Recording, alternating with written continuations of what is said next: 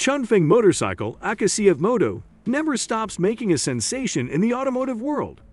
After appearing as a sponsor in Moto 3, the Chinese manufacturer is intensively presenting new products and marketed globally.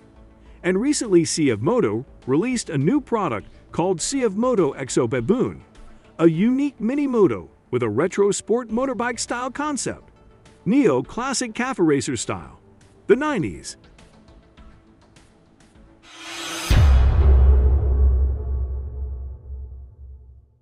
You can see this motorbike uses a half-fairing model with dual round headlights and a square rear body in the style of a Cafe Racer Neo Classic Sports motorbike. For those of you who are of the old generation, you will definitely feel nostalgic for the 90s motorbikes, or what is usually referred to as Andy Lau's motorbike that adorned cinema screen at that time.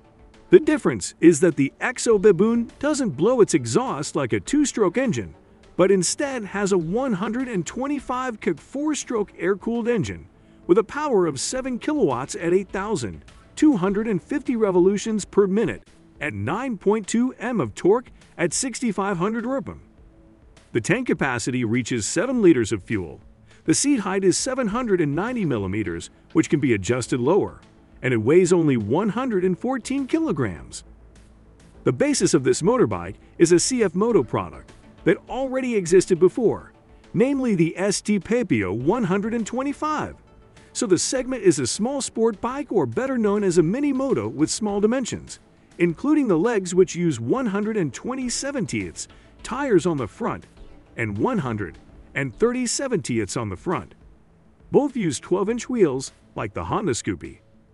Even though it looks old school in the style of motorbikes from the 80s and 90s, the CF Moto XO Baboon is packed with modern features and technology, such as all LED lights both front and rear, both of which use the concept of round double lights and a boxy rear body.